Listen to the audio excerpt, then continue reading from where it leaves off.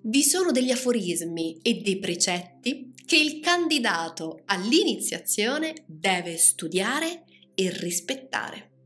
Fra l'aspirante al sentiero e il candidato all'iniziazione vi è una grande differenza. Chi aspira al discepolato e cerca di conseguirlo non si impegna in alcun modo alle specifiche norme di vita e alla disciplina del candidato all'iniziazione e, se lo preferisce, può prolungare quanto vuole il sentiero della prova. Chi si propone l'iniziazione si trova in una situazione diversa e una volta avanzata la richiesta deve imporsi una regola di vita ben precisa e seguire un regime severo che è solo facoltativo per il discepolo. Le 14 regole che seguono sono estratte da una serie di istruzioni compilate per coloro che cercano di conseguire la prima iniziazione. Cominciamo con la regola numero uno.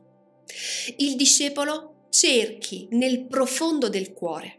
Se il fuoco vi divampa e riscalda il fratello e non se stesso, è giunta l'ora di chiedere di presentarsi alla porta.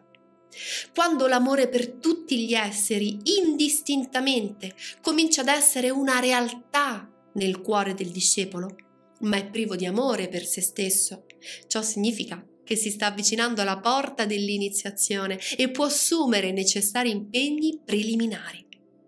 Questo è necessario prima che il maestro proponga la sua candidatura.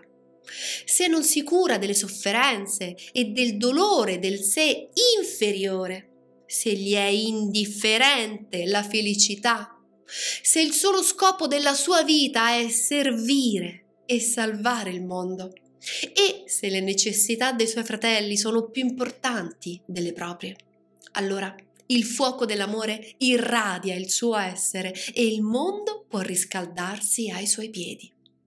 Tale amore deve essere messo in pratica e dimostrato e non restare una teoria, un semplice ideale, un piacevole sentimento, deve essersi sviluppato attraverso le prove e le esperienze della vita, in modo che il principale impulso vitale tenda al sacrificio di sé e ad immolare la natura inferiore. Regola numero 2. Fatta la richiesta in triplice forma, il discepolo la ritiri e dimentichi che è stata fatta.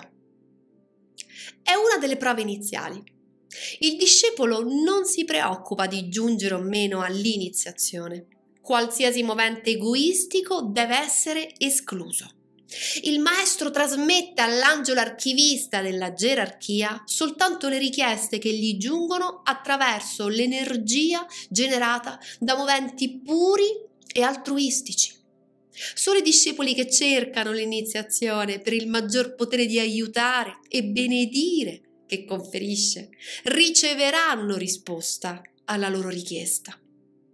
Chi non si cura dell'iniziazione non riceverà l'elogio occulto e chi per egoismo o curiosità è ansioso di partecipare ai misteri non varcherà la porta ma rimarrà fuori a bussare coloro che desiderano ardentemente servire, oppressi dalla consapevolezza delle necessità del mondo, risvegliando così il senso di responsabilità personale. Coloro che hanno adempiuto la legge busseranno e verrà loro aperto e la loro richiesta sarà accolta. Sono coloro che lanciano un appello per ottenere maggior potere di aiutare ed esso giunge all'orecchio di coloro che attendono in silenzio. Regola numero 3. Triplice deve essere l'appello e molto tempo è necessario per farlo risuonare. Il discepolo lanci l'appello attraverso il deserto, al di sopra di tutti i mari e attraverso i fuochi che lo separano dalla porta velata e nascosta. Questa simbologia ingiunge al discepolo di fare in modo che il deserto della vita fisica fiorisca come la rosa, affinché dal giardino della vita inferiore si levino suoni e profumi e una vibrazione abbastanza forte da attraversare lo spazio esistente fra esso e la porta, di calmare le acque agitate della vita emotiva, affinché la porta possa riflettersi nella loro superficie limpida e tranquilla e la vita inferiore rispecchi la vita spirituale della divinità che vi dimora. Di gettare nella fornace infuocata i moventi, le parole, i pensieri che sono causa principale di attività e che hanno origine sul piano mentale. Quando questi tre aspetti dell'ego che si manifesta, il Dio interiore, sono dominati, coordinati e utilizzati, anche senza che il discepolo ne sia cosciente. La sua voce che chiede l'apertura della porta verrà udita. Quando la vita inferiore del piano fisico è feconda, la vita delle emozioni stabile, la vita mentale trasmutata, nulla può impedire che la sbarra di quella porta venga alzata per lasciar passare il discepolo. Solo una vibrazione sincronizzata con quella esistente oltre la porta ne produce l'apertura. E quando la nota della vita del discepolo sia intonata con quella della gerarchia, ad una, ad una le porte si apriranno e nulla potrà tenerle chiuse. Regola numero 4. Il discepolo attenda all'evocazione del fuoco, alimenti le vite minori mantenendo la ruota in rotazione. Queste parole ingiungono al discepolo di tener presente la propria responsabilità verso le molteplici vite minori che nel loro complesso compongono il triplice corpo di manifestazione. In tal modo l'evoluzione è possibile e ogni vita nei diversi regni della natura, coscientemente o incoscientemente, o inconsciamente, adempie la propria funzione di vivificare ciò che sta ad essa, come il pianeta sta al Sole. In tal modo lo sviluppo del piano logoico potrà procedere con maggiore esattezza. Il regno di Dio è all'interno e il dovere del reggitore interiore nascosto è duplice. Prima verso le vite che formano i corpi fisico, astrale e mentale, poi verso il macrocosmo, di cui il microcosmo non è che una parte infinitesimale. Regola numero 5 il candidato faccia sì che l'angelo solare offuschi la luce degli angeli lunari, rimanendo il solo luminare nel cielo microcosmico. Per adempiere questa ingiunzione, i candidati devono in primo luogo studiare la propria origine, comprendere la propria vera psicologia in senso occulto ed essere scientificamente consapevoli della vera natura dell'ego o sé superiore, operante nel corpo causale.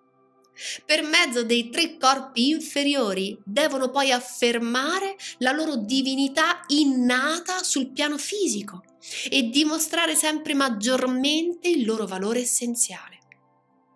In secondo luogo, devono studiare la costituzione dell'uomo comprendere il funzionamento della natura inferiore, rendersi conto che tutte le cose viventi sono interdipendenti, correlate, assoggettando così le vite minori che compongono i tre corpi.